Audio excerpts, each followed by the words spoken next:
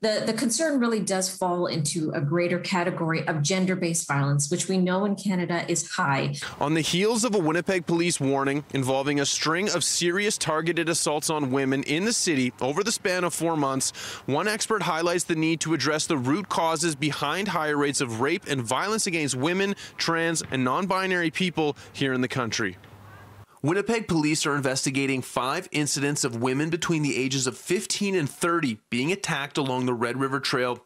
Andrea Gunraj, Vice President of Public Engagement with the Canadian Women's Foundation, says data shows repeatedly women feel unsafe in public spaces, and these attacks represent the extreme side of a spectrum of sexual violence perpetrated against women. However, catcalls, along with sexual harassment in the workplace and school setting, need to be addressed in order to change the way women women are feeling unsafe in public in general. They're more unlikely to feel safe um, in their neighborhood, maybe going and running errands, going to and from work, doing public activities. This is an issue in many places in Canada. In a response to the attacks on women, Winnipeg police are cautioning the public to not walk or run the trails alone, to run without headphones playing music, and tell someone else what route you are planning to take.